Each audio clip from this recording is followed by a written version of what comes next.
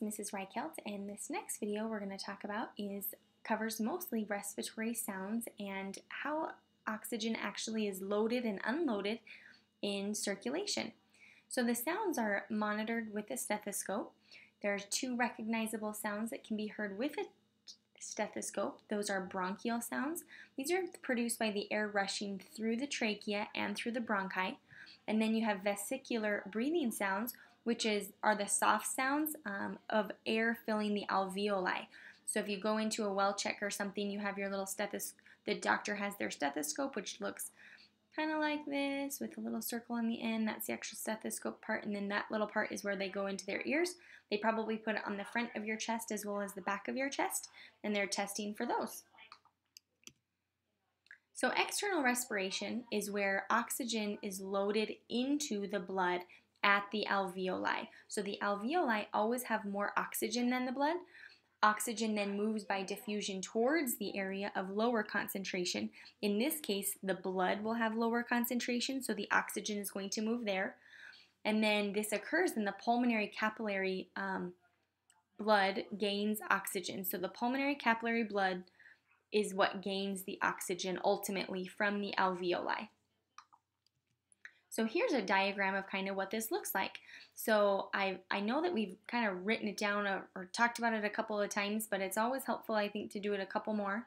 So the oxygen, there's going to be a lot of oxygen in here. It's going to then diffuse areas of high to low concentration, so that's diffusion occurring. And then the oxygen is then going to attach to the oxyhemoglobin, which will ultimately be formed. Carbon dioxide is unloaded out of the blood, so that means that the blood that's returning from the tissues has a higher concentration of carbon dioxide, which I'll draw a couple of those right there. Um, and the same thing is going to happen. Diffusion will occur, which will take those carbon dioxide levels um, from areas of high to low concentration, putting carbon dioxide into the alveoli.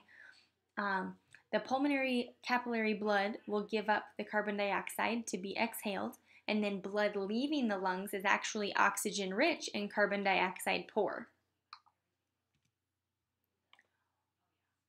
The oxygen that's transported in the blood is attached to the hemoglobin in the form of oxyhemoglobin. So this is our uh, hemoglobin right here, this HB, and then this is our oxygen, and collectively it makes this HbO2, which is oxyhemoglobin. It's a small but dissolved amount which is carried in the plasma too. So you're you'll have a little bit of oxygen in the plasma but not a whole lot. Most of that oxygenated blood or oxygen is going to be carried on the hemoglobin. The carbon dioxide will be transported back to the alveoli for the most part as bicarbonate. So bicarbonate is HC O3 negative. So that's basically what it's going to be transported as. And then the small amount is also carried inside the red blood cells on hemoglobin, but they're at different binding sites than the oxygen. So I would probably just worry about, for the most part, or carbon dioxide is going to be carried within the plasma as bicarbonate. And then your four carbon dioxide um, molecules are going to diffuse out of the blood into the alveoli. This must be released from its bicarbonate form, so that means that you're going to have to add water to it. That's plasma is mostly made up of water. So as you get to the alveoli, that bicarbonate will interact with water, go through a chemical reaction, and then it'll turn into um, that carbon dioxide and water. So you have bicarbonate plus um, carbonic acid, which will ultimately form water and carbon dioxide. Once you have the carbon dioxide that's formed, then you can turn that into carbon dioxide to leave through the alveoli. The carbonic acid splits, which forms water and carbon dioxide. And then internal respiration. Internal respiration, again, is that gas exchange that it's occurring at the body tissue. So we're not inside the, the alveoli anymore. This is the exchange um, between the blood and the body cells. So it's happening with an opposite reaction of what occurs in the lungs. So the carbon dioxide diffuses out of the tissue, which is called loading.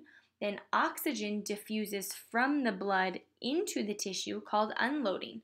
So at this point now you have your um, oxyhemoglobin. It will separate out into hemoglobin and oxygen, and the oxygen will diffuse.